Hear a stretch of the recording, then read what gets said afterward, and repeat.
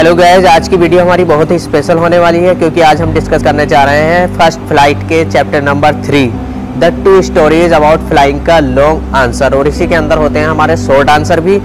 सारी टेंशन से तो ढेर सारा याद करने की टेंशन से बचने के लिए आपको केवल एक लॉन्ग क्वेश्चन याद करना है। इसी के अंदर हमारे शॉर्ट आंसर इंक्लूड होते हैं और सारी टेंशन आपकी ख़त्म और आप ला सकते हैं 90 प्लस तो हमारे साथ बने रहिए और हमारे चैनल को देखते रहिए।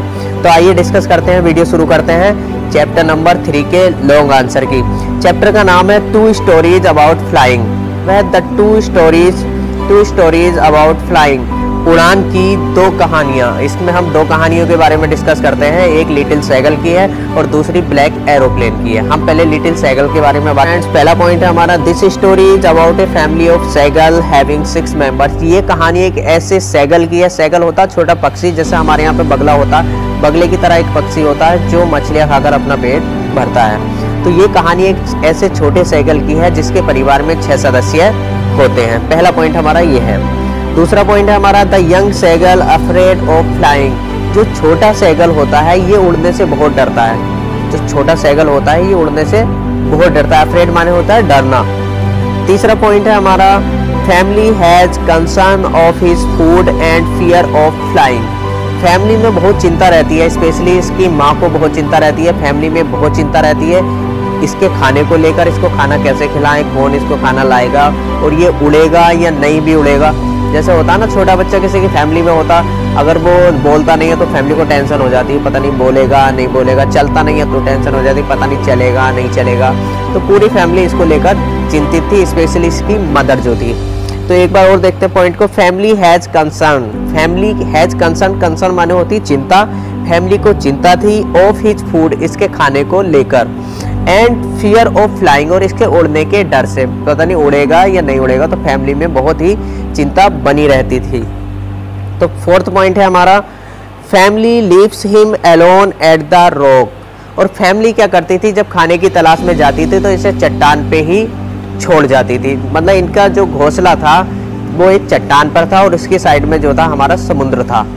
इसकी साइड में समुद्र था। तो फैमिली लीव्स हिम फैमिली उसे छोड़ जाती थी। एलोन अकेला, एलोन मीन्स होता अकेला, एट द रोक, पहाड़ी पर ही फैमिली उसको छोड़ जाती थी और खुद जो है खाने की तलाश में निकल जाती थी।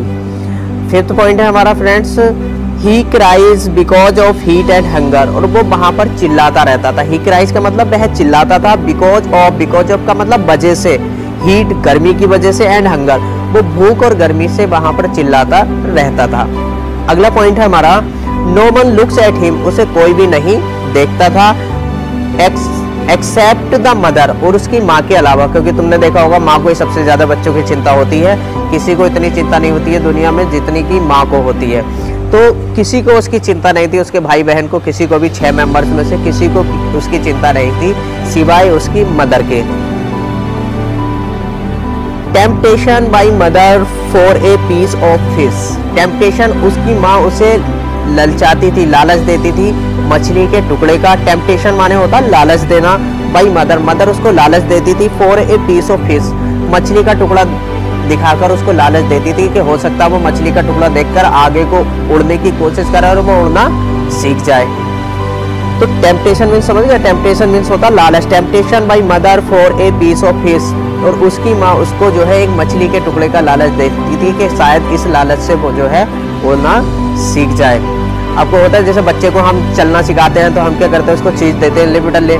तो वो कोशिश करता आगे बढ़ने की, इसी तरह से चलना सीख जाता तो उसकी मदर भी क्या करती थी, उसको मछली का टुकड़ा दिखाती थी कि बेटा लो, शायद वो अपने पिंजरे से जंप मारे और उड़ना इस तरह से, उसका जो अंदर फियर है वो निकल जाए। तो ये कोशिश उसकी मदर करती थी।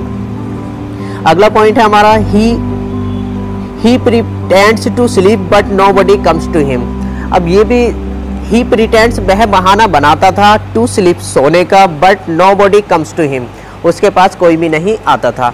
अब ये भी बहुत चालाक था, छोटा सेगल ये क्या करता था? सोने का बहाना बना लेता था कि शायद ये मेरे साथी, जो मेरे घर वाले हैं, ये समझे कि हमारा बच्चा सो रहा है और इसको ले लेके, खाना लेकर के जाओ। तो ये भी बहुत चालाक था, ये सोने का बहाना बना लेता था कि मैं देख ही नहीं रहा।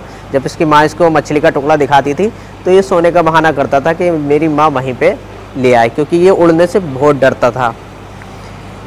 अगला पॉइंट है नाइन पॉइंट है हमारा। एवरी वन टॉन्ट्स हिम हर कोई उस पर टॉन्ट्स टॉन्ट्स का मतलब ताने कसना। हर कोई उसको ताने कसता था फॉर हिज कवर्डिस कवर्डिस माने होता कायरता। और उसको उसकी कायरता पर सारे जो उसके मेंबर्स हैं, सब सब उसको ताने देते थे। जैसे होता है ना, भाई बहन, कोई काम नहीं करता तो उसे बड़े भाई बहन ताने देते। देखो तो खाता रहता है, पढ़ा हुआ, ये करता, वो करता। तो इसी तरह से सब लोग उसे, इसके भाई बहन जो थे, सब इसको ताने देते थे, पता नहीं उड़ेगा नहीं उड़ेगा, पड़ा रहता है इस तरह से। तो ये क्या करता था, जब मदर इसके जो है छोटा पीस इसको मछली का दिखाती थी तो ये सोने का बहाना कर लेता था कि जैसे मैंने देखा ही नहीं, और मदर मेरी यहीं पिंजरे में ही सामान लेकर आ जाए और मैं यहीं पे खा लूँ। टेन पॉइंट है हमारा। The young seagull dives to catch a fish to feed himself अब जब ये एक दिन बहुत ज़्यादा भूखा था, बहुत ज़्यादा भूखा था, कोई भी इसके पास नहीं आया तो इसने क्या करा? The young seagull dives to catch a fish इसे एक मछली दिखाई दी और इसने उसे पकड़ने के लिए डाइव गोता लगाया। इसने उसे पकड़ने के लिए गोता लगाया। डाइव से माने होता गोता लगाना to catch a fish to feed himself अपने आप के लिए, अपने लिए। अब जब आदमी को भूख लगती है तो वो कुछ ना कुछ करता है। जब ये भूख से चिल्ला रहा था तो इसे एक मछली दिखाई दी तो इसने उसे पकड़ने के लिए गोता लगा दिया। क्योंकि इनका जो पिंजरा था वो समुद्र के बिल्कुल किनारे पे था। अब फिर क्या होता है? Eleventh point he tries to spread his wings वो अपने पंखों को फैलाने की ट्राई ही ट्राइज वह करता है टू स्प्रेड स्प्रेड का मतलब फैलाने की हिज विंग्स अपने पंखों को आउटवर्ड्स वह अपने पंखों को बाहर की ओर फैलाने की कोशिश करता है. He begins to fly downwards और वो नीचे की ओर गिरने लगता है एंड अपबर्ड और जब उसके पंख फैल जाते हैं तो ऊपर की ओर उड़ने लगता है. तो he begins to fly downwards जब वो नीचे को डाइव लगाता है तो उसके और अपने पंख फैला लेता है तो he begins to fly downwards तो वो नीचे को उड़ने लगता है मतलब ऊपर से नीचे को गिरने लगता है एंड अपबर्ड और फिर जब पंख फैल जाते हैं तो वो ऊपर अपबर्ड का मतलब ऊपर को उठने लगता है। फैमिली एनकरेज हिम उसका जो परिवार है, उसको एनकरेज करता है, किस तरह से? आप कर सकते हो, आप कर सकते हो, कर सकते हो, कर सकते हो, कर सकते हो can do can do can do इस तरह से। उसका हौसला अफजाई करते हैं and thus he made his first flight successfully और दस का मतलब इस तरह से he made his first flight successfully इस तरह से वो जो है, अपने पहली उड़ान बड़ी ही सावधानी पूर्वक सफलतापूर्वक उड़ान भर लेता है और उसका डर हमेशा के लिए निकल जाता है और लिटिल सैगल भी अपने मदर के साथ रोज़ रोज़ शिकार करने के लिए जाता है। तो फ्रेंड्स, इस कहानी का मतलब ये था कि किसी भी काम करने को सबसे पहले हमें उसका डर निकाल देना चाहिए। कोई भी काम छोटा या बड़ा नहीं होता, जब हम सोचेंगे, सबसे पहले सोचो फिर करो। और उसका जो डर है, हमारा जो कवर्डिस है, डर क्या पैदा करता? है कायरता पैदा करता। अगर उसका डर आपने निकाल दिया, मान लिया साइकिल चलाना ही है, उसका डर निकाल दिया, बोले देखते हैं यार क्या होता तो आप उसको कर सकते हैं। कोई भी काम ऐसा नहीं है जो आप ना कर सकें। तो सबसे पहले इस कहानी का मतलब ये है कि किसी भी काम करने को से पहले हमें डर को एकदम से निकाल देना चाहिए।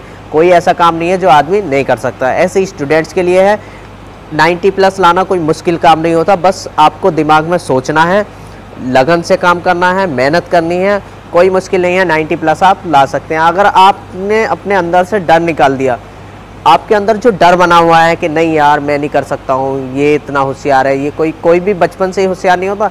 मेन चीज़ होती लगन। होशियार नहीं है वो जिससे आप कंपेयर करना है, उसके अंदर लगन है और आपके अंदर लगन नहीं है। आपके अंदर एक जज्बा पैदा होना चाहिए कुछ करने का। अगर आपने ठान लिया, मुझे 90 प्लस लाने हैं तो आपको कोई नहीं रोक सकता। इसी तरह से ये जो हम लॉन्ग क्वेश्चन इसमें वीडियो में डाल रहे हैं, आप इसको नोटबुक पे नोट करके याद करते रहें। पाँच लॉन्ग क्वेश्चन हम फ़र्स्ट फ़्लाइट के डालेंगे, पाँच लॉन्ग आंसर हम फुट मिनट्स विदाउट फीट के डालेंगे। पाँच पाँच दस लॉन्ग क्वेश्चन छः सेंट्रल आईडी की वीडियो हम पहले ही डाल चुके हैं। और आपने ये याद कर लिया तो मेरा पूरा पक्का वादा है, आपके 90 प्लस इंग्लिश में कोई नहीं रोक सकता। जय हिंद, जय भारत। आपको ये वीडियो अच्छी लगी हो तो हमारे इस चैनल को शेयर और सब्सक्राइब करते रहिए, क्योंकि हमें है आपकी फ़िक्र। आपको ये वीडियो अच्छी लगी हो तो हमारे चैनल को शेयर और सब्सक्राइब करते रहिए, क्योंकि हम इस पर डाल रहे हैं आपके लिए बहुत अच्छी अच्छी वीडियो। जय हिंद, जय भारत। घर पर रहिए।